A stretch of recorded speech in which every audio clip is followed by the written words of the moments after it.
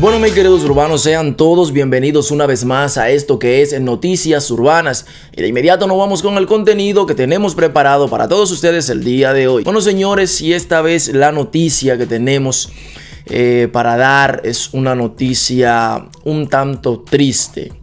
Tanto triste ya que Mozart La Para. Había rumores de que eh, Mozart La Para estaba en un proceso de divorcio de separación con su esposa Alexandra, pero eran eh, rumores. Eh, ninguno de los dos, ni Alexandra ni Mozart La Para, habían ni, eh, negado ni, ni, ni, tampoco habían aceptado de que esto estuviera pasando. Sin embargo, Mozart La Para en su cuenta oficial de Instagram hace público de que verdaderamente Alexandra y él están en un proceso de divorcio, señores.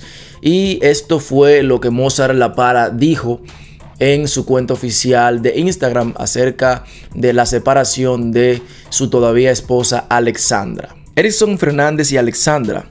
Deseamos comunicarles con mucho respeto y alta estima a nuestro público, amigos y relacionados, que iniciamos un proceso de separación luego de 10 años de matrimonio. Es una decisión muy meditada, madura, de mutuo acuerdo y desde el cariño y el respeto que nos tenemos. Siempre seguiremos siendo una familia, donde el amor y el respeto seguirá permaneciendo entre ambos para seguir siendo compañeros de vida y formación de nuestra pequeña Charlotte. Le pedimos a todos los medios de comunicación respeto, tanto por nosotros como por nuestras familias, y muy en especial por nuestra hija, y que sea respetada la privacidad con la que decidimos dar este paso. Es la única vez que tocaremos este tema familiar a través de los medios de comunicación, con amor, cariño y respeto. Bueno, señores, sí, como ahí pudieron ver, contactar de que lamentablemente es oficial ya, Mozart La Para se divorcia de su pareja, de su esposa de 10 años, Alexandra. Lamentablemente, si ellos entienden que es la mejor decisión, ellos tendrán sus eh, razones.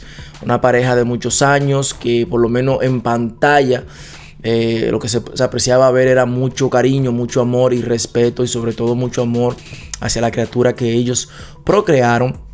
Pero a veces eh, cuando la relación no funciona, una cosa es lo que se ve en televisión o quizá lo que se ve en Instagram, en las redes sociales, y una cosa es lo que sucede dentro, dentro de cuatro paredes.